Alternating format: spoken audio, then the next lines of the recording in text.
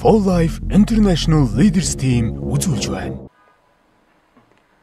Сайн байцгаана уу? Та бүхэнд энэ өдрийн мэндийг хүргэе. Тэгэхээр монголчуудын дунд сахарын өвчин маш их илбэг тохиолдож байгаа учраас та бүхэндээ энэ сахарын өвчний талаар энэ өдөр ярилцъя гэж бодсон юм аа. Тэгэхээр э, хүний дархлаа тогтолцоо болон дотоод шүрлийн систем хоёр хоорондоо нэгт холбоотой байснаар хүн өөрөө эрүүл байх одоо гол үндсэн чиг хандлага нь өөрөө энэ дээр оршиж идэг. Тэгэхээр бидний эргэтэн тогтолцоо хоорондоо байнга холбоотой байдаг учраас бид нар аль нэг эргэтэн системийг аль нэг одоо өвчнийг тэндээс нь салгаж нэг нэгээр нь авчин гэж үздэг маань жаахан юм явцсан ойлголт одоо ангаах нь бий болчиход байгаа. Тэгэхээр цөмөрөө энэ сахарын өвчнийг одоо ярихаас өмнө заавал энэ хоёр системийн талаар тодорхой хэмжээсээр одоо мэдээлэл өгье гэж бодсон юм байна.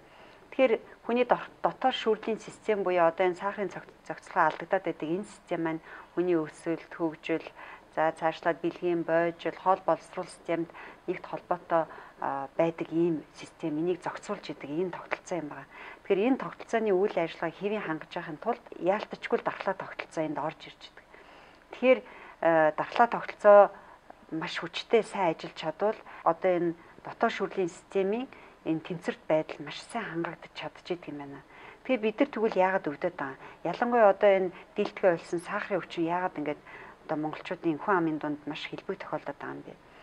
Тэгэхээр сахарын өвчний гол шалтгаан бол энэ өөрөө суур өвчин одоо дэлхийн нийтээр одоо эмчлэгдэхгүй гэдэг ийм одоо яриа өрнжидэг. Тэгэхээр бид нар хоол ундаараа өөрийнхөө ахуй тэ дэглэмээр ахын дэглэмээр цаашлаад гам сагчиж бид энэ сахартай тэмцэж байгаа.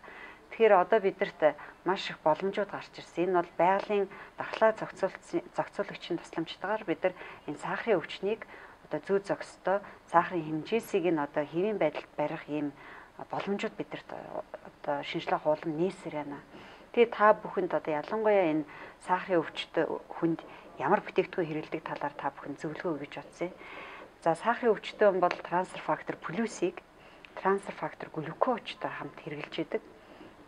За трансфер фактор плюсийн талаар би та бүхэн жоохон одоо дэлгэрэнгүй найрлага ойлголтын ойлголт өгье. Тэгэхээр трансфер фактор плюс маань трансфер фактор гэдэг энэ хүний цэсэнд шүүрч ялгарч идэг жижигхэн молекул байдаг. Тэрэн дээрээ нэмэгдээд хорхоо өв шар бурцаг алуу шитаки метаки мөг зэрэг нэмэлт одоо дархлаа сэргээдэг юм зүйлүүд орцсон байдаг энэ трансфер фактор үндсэндээ бидний дархлаа зохицуултыг хийж өгч өгдөг буюу дархлааны эсүүдийг мэдээлэлээр хангаж одоо тамирчнаар бол дасгалжуулагчийн үүргийг гүйцэтгэж яадаг. Ямар дайсаа орж ирэхэд ямар мэхийг хийх үү?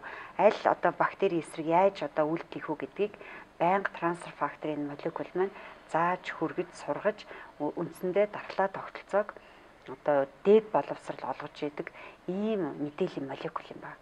За глюкоз гэдэг маань одоо өөрөө юу юм бэ гэхээр энэ трансфер фактор өөрөө агуулж идэг 50 мг байна. Гэхдээ плюсийг бодвол арай бага хэмжээтэй байна. А глюкозны найрлагын дотор солонгосын улаан хөө орхоотой байдаг. Мамардик гэж жимсний одоо найрлагад өөрөлд бодисын солилцоо маш их сайжруулдаг ийм зүйлүүд байдаг учраас энэ глюкоз голдуу сахарын хэмжээсийг цусан дах сахарын хэмжээсийг буулгахын тулд голдуу хэрглэж байдаг. Тэгэхээр манай зах зээл дээр энэ хоёр бүтээгдэхүүнийг хэрэглээд их удаж байна одоо бараг 7 жил болж байна.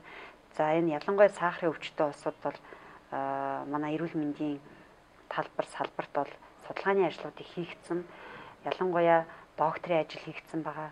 Энэ дээр юу гэж гарч ирсэн гэхээр ялангуяа сахарын өвчтөнд плюсийг өдрийн 4 ширхгээр 3 удаа, глюкозыг 4 ширхгээр өдрийн 3 ойролцоогоор сар сар хагас хэрэглэхэд цэцэн дах сахарын хэмжээ хичнээн их буурсан талаар манай эрдэмтэд судалгаа хийсэн байгаа.